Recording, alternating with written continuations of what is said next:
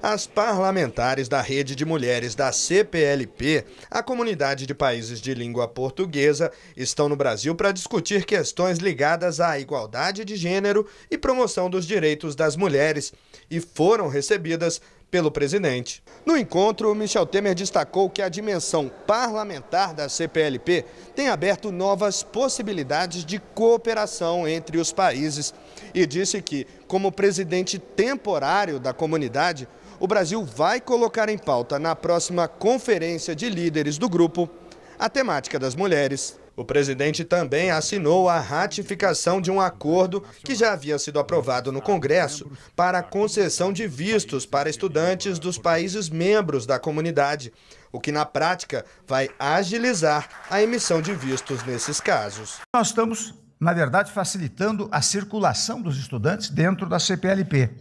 E vejam que é uma medida que favorecerá o desenvolvimento econômico, educacional técnico e social uh, de outros países. Né?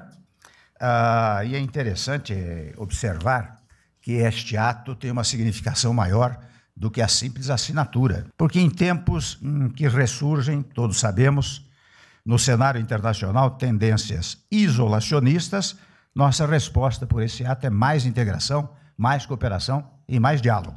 A deputada federal Rosângela Gomes, que preside a rede de mulheres da CPLP, defendeu que é preciso dedicar mais investimentos para políticas públicas voltadas para as mulheres. Para o empoderamento das mulheres, para que o trabalho das mulheres tenha mais eficácia, eficiência e sucesso, é preciso que tenhamos recursos. A parlamentar de Cabo Verde, Dália Delgado, afirmou que a rede trabalha para ajudar na implementação da Agenda 2030 das Nações Unidas, dos Objetivos de Desenvolvimento Sustentável. O nosso objetivo é amplificar a voz das mulheres dos países de língua portuguesa, de forma a assegurar a igualdade de acesso ao poder político e econômico no planejamento e na implementação de políticas públicas.